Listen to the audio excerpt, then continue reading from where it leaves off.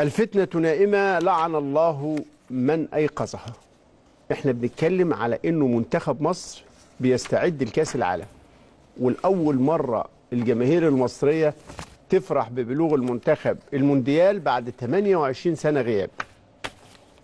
والكل مطالب بمساندة ودعم المنتخب. لما يطلع جورنان قومي وأعي جريدة الأهرام المسائي بموضوع كبير. مش مش يعني مش فتنة لا ده شيء جاد وواضح وصريح زي ما أنتم شايفين. الأهلاوية إيد واحدة في المنتخب ضد الإسماعيلي. أنا ما أعتقدش إن في أشد عصور الفتنة الرياضية كان الكلام ده بيتكتب. الأهلاوية إيد واحدة ضد الإسماعيلي في المنتخب. كنا زمان بنعاني إن المنتخب فيه تقسيم بين الأهلي والزمالك. لا ده بيتقال إن الاهلاويه تكتلوا ضد الاسماعيلاويه والكلام إنه ناجي ضد عواد وبيضغط لبقاء إكرامي في قائمة روسيا 2018 ممكن مين اللي كاتب المقال؟ الزميل محمد صيام. الزميل محمد صيام. آه. أحد المخترقين. أيوه. عرفت بقى أنا كان إيه اللي مجنني؟ أيوه. إن محمد صيام ده اتعملت له عضوية في النادي الأهلي من سنتين. عضوية آه. عاملة. عضوية في النادي الأهلي. أيوه. آه. عضوية عاملة. آه. وإن محمد صيام ده كان أحد الذين يص- يصيغون الشكل الإعلامي للنادي الأهلي. آه. عرفت بقى أنا ليه كنت خايف؟ وقلت إن من تاني يوم امم من تاني يوم امم لو غاب المهندس محمود طاهر هيبدأ عملهم الحقيقي الجاد في محاربة الأهلي من تاني يوم. ولذلك لن أتوقف عن كشفهم ومتابعتهم. لأن هم هم خلاص. وهو المعد للكابتن مدحت شلبي. طبعا. آه يعني عشان تبقى الأمور واضحة عند الناس. بص حد... أنا وبالاسم هقول لك البرنامج ده هيقول كذا والبرنامج ده هيقول كذا. الإعداد يقود أحيانا الأمور. آه. هذا ليس اتهاما للكابتن مدحت ولكن بقول له خلي بالك بقى. آه. خلي بالك من الإعداد بتاعك. وجبات مسمومة يتم طبعا. إعدادها. طبعا. آه. طبعا. آه. لأن ده معناه إيه؟ يعني الناس عمالة تقول ها ده ده عشان ياخدك بعيد عن سكة حسام غالي. ما هو هو بيضرب 10 عصافير بحجر. هو حسام غالي و والكلام إن مبعد من الثنائي محمد فايز و واسامه نبيه. آه. محمود فايز آه. محمود فايز. آه. هم زملكاويه آه. طبعا مفيش آه. مشكلة. أيوة. وخلاص الموضوع ده آه، يعني يكاد يكون حوسم. كل جهاز وامره آه. وما حدش بيتكلم فيه. لا آه. أنا بقول لك بقى ده ناجي. أجيبه بقى إن ناجي عايز يطيح بعواد مع إن عواد سبق ضمه للمنتخب. وأنا سمعته كتير بيتكلم بحب شديد عن أحمد ناجي ودعمه ليه. والقضية يا جماعة مش يا عم هو قضيه القضية مش قضية عواد وناجي دي قضية اسماعيلي وأهلي. أيوه. اولا يطلع لك إن بيحاربوه.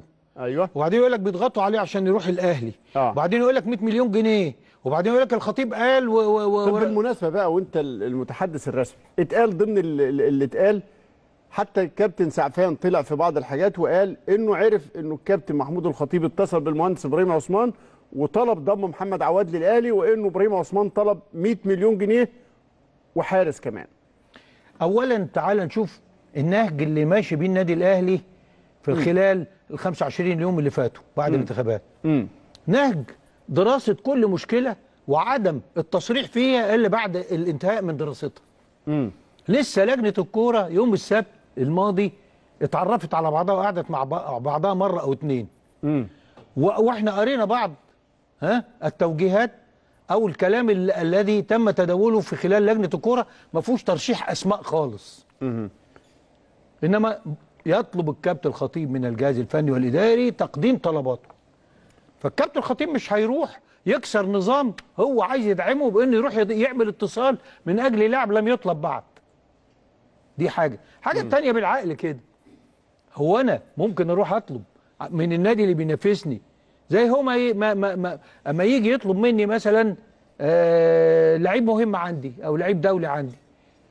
مش منطقية. إحنا الاثنين بنتنافس. ما إحناش فيه يعني فوارق في في الترتيب أو إحنا مش في منافسة.